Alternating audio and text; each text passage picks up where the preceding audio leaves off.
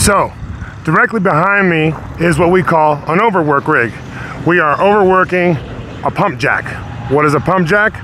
I'll put a picture right up here somewhere so you guys can know exactly what we're talking about.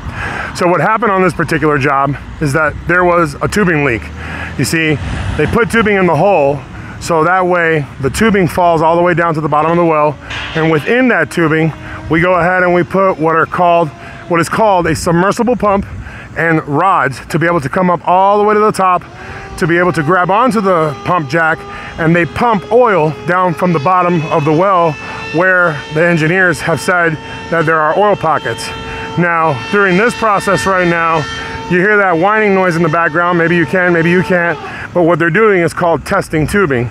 So as we're going down to make sure that the pressure is holding while it's down there and there are no leaks or any compromises in the tubing, they load it up with water, they pressure it up to about six or 700 pounds of, of force to see if the tubing pressure holds.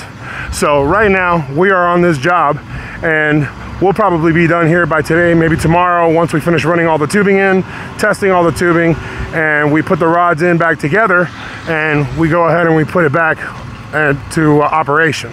So this is about a two or three day process, give or take, depending on what it is exactly that's going on with the with the well. And you know, this is just part of the job.